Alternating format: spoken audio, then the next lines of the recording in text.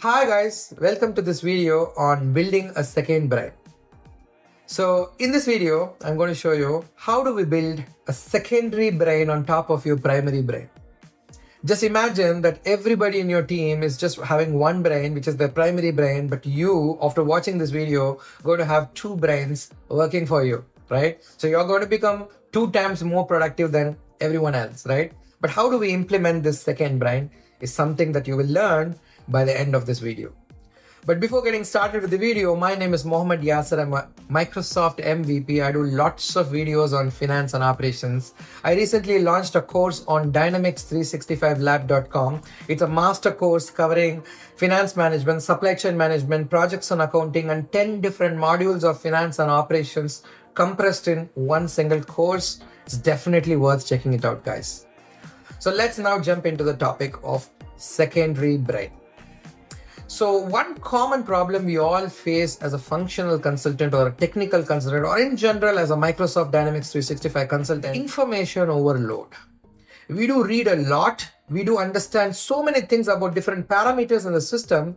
But the problem is we assume that all those knowledge is going to stay in our primary brain. But the reality is after two weeks, we completely forget whatever we learned. And that's the same problem even I have, right? So the strategy is we cannot keep everything in our primary brain. We need to start dumping those important information into our secondary brain and we are going to learn how do we do that using something called as a code framework so that the information always stays with you even the david allen in one of his book have mentioned that the brain is meant to only generate ideas it's not meant to hold on to the ideas for a longer time. The ideas needs to be quickly captured in your second brain. So how do we build the second brain? What is the code framework is what we are going to see in this video. So let's get into the video guys. Hi guys, welcome back. The code framework CODE that I was talking about is from this particular book called Building a Second Brain. It's by Tiago Forte definitely a very popular book and worth reading if you want to know more about this code framework. So in today's video we will see how do i implemented this book right?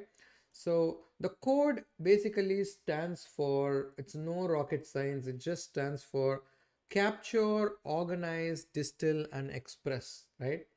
So as i mentioned during the intro uh, as a consultant of ERP, we do capture lots of information, the information from our projects workshop that we conduct, the information from the requirement gathering exercise that we conduct, the informations from the self-study that we do, so much of information is going on.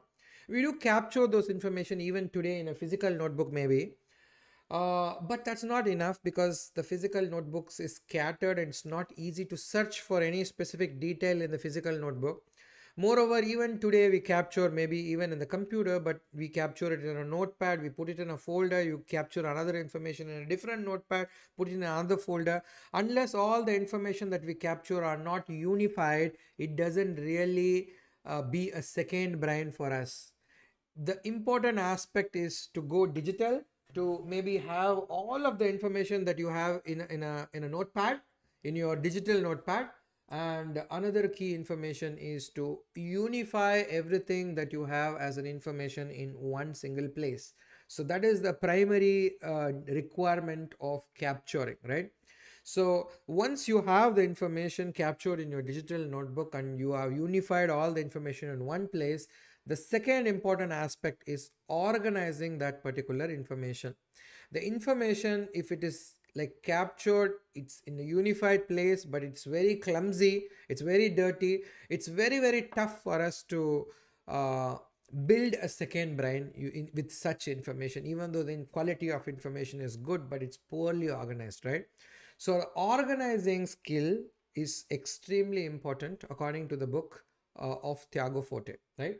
So in order to organize that information that you have captured you might, according to the author, need to apply something called as PARA, which is a method.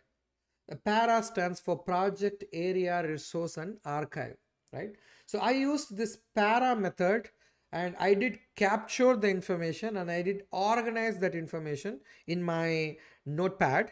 So let me show you how I have done it. Let me pull my iPad screen to my computer. So um, that is the para that I was referring to, right? So the first folder here is project. So in this particular folder, I will have all my projects related to my work in a separate subfolders and within every single subfolder there is a digital note there is a notebook digital notebook where i use uh, use this digital pen and use my own handwriting and capture the information. When i write the information in my own handwriting when i try to draw the information in a form of a flow diagram the information sticks to my head and information also is well captured in my note taking app right? So um, uh, if I, you know, um, get into the project folder, I have divided the project folder into personal and into work. In the personal folder, I have all my personal side hustle projects. In my work folder, I have a separate subfolder created for each of the project. Right? I cannot open either of this folder because they all have my personal project related informations. So this is how I organized my projects folder, right? Um, so in the projects folder, whatever information I captured from my team's call, from my discovery workshops, from requirement gathering workshop, they are all written there. I only capture the essence of information, most relevant and most important information. I don't capture everything and make my digital note again so big. So all the useless informations are filtered and only very, very relevant, useful information are captured. One big advantage of the note taking app is I can even take a picture. I can take a snapshot of whiteboarding, uh, whiteboarding boards i can even take a snapshot of a current system of the customer let's say for example. All that are captured as a raw data in the system to start with right? So that's captured and then we organize it in the relevant folder. So the next folder is the area folder right? If i get into the area folder i have multiple subfolders. This folder represents all my customer related uh, work so um, this folder will have multiple notepads for each of my existing customer this folder having multiple notepads for different types of ideas I generate for different platforms. This is for different different partners. I have individual notebook for each partner, each prospect individual notebook as well. Self-learning, depending on the topic, I have different notebooks for different topics inside the self-learning uh, folder. I also have like a to-do list here in the area page where I can like um, plan my day upfront. For example, today is Sunday, right? So I, my to-do list for today is not too long. So if I just open my to-do list, like it's very, very bad handwriting, but still I, I like to, you know, use my own handwriting to capture the information, like create a video on the second brain that I'm doing right now. So once I'm done, I can like strike that out. And right now I'm in the process or in progress with this likewise i have two three more activities to do once i'm done with the activity i will just uh, put a tick or a cross right so this is uh, one classic example of um, uh, capturing the to-do list as well. So this is the area section, right? So the next third section is the resources. Like the resources are the folder where um, if you find anything which doesn't fits into a projects or area, then those are the ones we gets into the resources section or the resources section are plainly the tools that are needed to execute all the projects or execute any area in the system. Very, very important piece of information that you will be using on an everyday basis. These are some of my uh, resources like um, that right now I'm using and every resource, every notepad do has um, very, very important crucial information. Archive is the last folder where if a specific deadline is done, if a specific project is completed, I move the project from this folder to the archive folder, right? This is how I organize and manage my work, guys. So let's move to our uh, whiteboard back. So we have captured the information. We use a para method to organize the information. And then the next way is called D, which is distill, right? Distilling the information. Meaning we cannot capture every single information that we have, right? Like we, we capture so much of information. Now the process is let's say for example you have taken a picture of a notebook and you are highlighting the key uh, essence of uh, uh, specific lines in the notebook and now it's it's now our um, during the distilling process we may need to summarize that particular page into one single paragraph or you are in a customer workshop you captured tons and tons of information into four or five pages even though they are only important information but still they are running up to four pages. Now finding the connection between the four pages and summarizing them into one single paragraph and then creating the pockets of information right? So that is called as a distilling process cleaning the information and compressing it into one particular paragraph in a form of a maybe a brain map and like a like a flow diagram. I always try to represent the information in a form of a diagram or in a form of a text in one paragraph right? So that is something which you can also do you know in in the, in the case of distill for example while i was reading the second brain book i did take notes for like 5 6 pages but now I compress that particular notes into one single page. I will show you how, how it looks like, right? So this is an example of, let's say today's video, right? So um, like we have this code framework and there is this capture, there is this organize and distill and express and you have also a diagram which shows all the informations are coming on top of the funnel and then it gets into the funnel and only the relevant information is captured and organized using this para method, right? So this is one classic example of how we distill the information and just keep it in one page and represent the information, right? I just need to have a glimpse of uh, that particular uh, page that's all and i know what the page is talking about right? So that is a classic example of how do we do the distilling.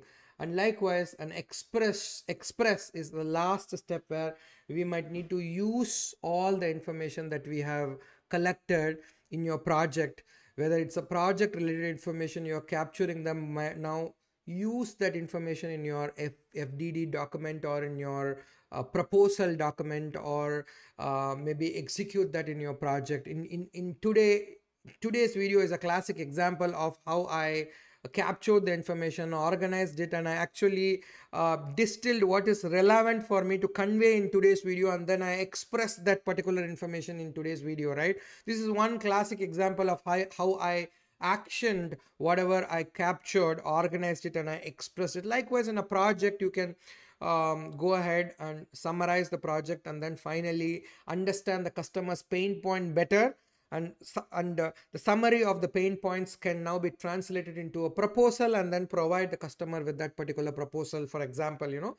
And one question i'm sure that you all might get in your uh, brain is do i really need to invest on any kind of a note taking app in order to do that? Uh, like it might it might be expensive in some cases some note taking app right? You don't need to invest on any specific note taking app. You have apple notes in your apple platform. You have likewise the default notes even in the android platform or a lot of free note taking apps are also available. Just use any note taking app. All the note taking apps these days are very very advanced. They have very good search functionality. If you are from microsoft you always have microsoft onenote right? So if i just open my onenote for example let me switch to my Microsoft OneNote. So if you see even in the Microsoft OneNote, I have created project, area, resource and archive, right? Uh, one other advantage of Microsoft OneNote is you can also share your notes and start collaborating on your notes with your team, right? So it's like a, uh, you can unify even the collaboration process in your notes. So um, again, against the project let's say you're working on two projects project one project two and you name the project here right? So against the project one there is one page. Likewise you can create n number of pages for a project one. Let's say i'm in the first page of the project one. I can um, like zoom the page right? And uh, it's also showing me the date and time and everything of the notes getting captured so uh, let's say I'm using a shape and then I got to understand the problems of the customer and I say that um, customer um, pain, right? And then I now put each of the pain points into different points, right?